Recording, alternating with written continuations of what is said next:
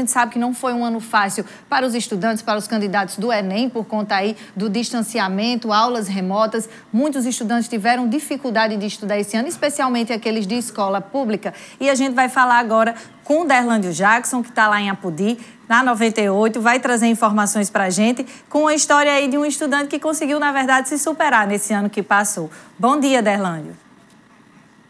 Oi, Juliana, bom dia para você. Hoje eu não estou no 98, estou aqui no centro da cidade de Apodi para a gente falar sobre esse assunto que aconteceu lá na cidade de Severiano Melo. Na verdade, esse jovem, o Ivanildo, ele é da cidade de Alto Santo, no estado do Ceará, mas precisou sair de lá, ele que trabalhava na roça mesmo, um trabalho pesado junto com o pai, com a família, saiu de lá para tentar se dedicar ainda mais aos estudos e conseguiu. Para você ter uma ideia, ô Juliana, na redação do ano de 2019, do Enem 2019, ele zerou, ele tirou zero na redação, mas se empenhou muito, se empenhou para valer.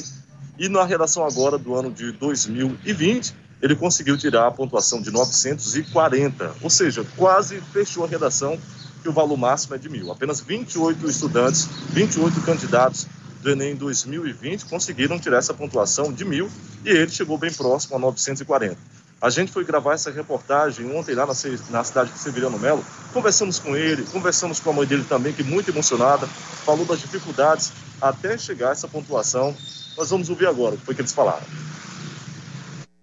Eu fiz a edição do Enem 2019, primeiro ano que eu fiz valendo, competindo mesmo, e acabei tendo um resultado que não me agradou, e foi aí que eu tive que tomar iniciativa. Eu, eu vi que tinha que mudar alguma coisa para eu poder dar a volta por cima. Precisei abrir mão da minha moradia, onde eu morava, no caso, na cidade de Alto Santo.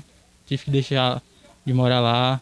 É, tive, que de, tive que deixar meus pais mesmo, abrir mão, porque eu vi que as coisas precisavam ser mudadas. Quando ele saiu, eu fiquei chorando muito. muito. Aí minha mãe disse, não, Anildo, eu vou levar ele para lá, eu cuido bem dele. Mas dá certo, tem fé em Deus que vai dar certo essa dificuldade. Eu trabalho na roça para ajudar. Tanto eu trabalho como o pai trabalha na roça. Aí, se Deus quiser, vai dar certo. Ou eu trabalhava com meu pai no cercado, ajudava ele, ou eu ia continuar no mesmo, tendo o mesmo resultado. E o que eu tomei a decisão foi ter que sair de casa mesmo para estudar. Então, Juliana, essa história de uma verdadeira superação, você vai conseguir acompanhá-la completa no Jornalismo TCM. Essa é uma das nossas reportagens que nós vamos exibir hoje.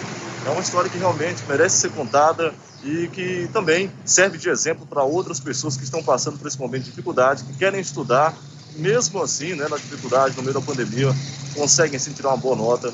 O Ivanildo é um exemplo disso.